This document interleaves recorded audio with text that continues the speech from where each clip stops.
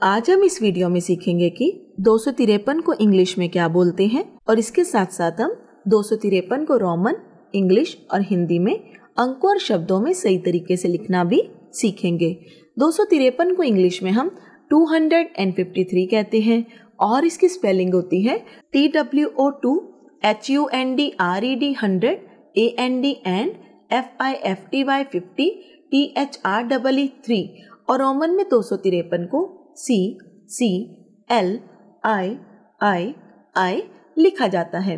दो सौ तिरपन को हिंदी में शब्दों और अंकों में इस प्रकार लिखा जाता है, जैसे आपकी स्क्रीन पर लिखकर दिखाया गया है। ऐसे ही और वीडियोस देखते रहने के लिए हमारे चैनल को सब्सक्राइब करें। अगर आपको हमारा प्रयास पसंद आया है तो हमारी वीडियोस को लाइक करें। आपके लाइक हमारे लिए बहुत मायने रखते हैं।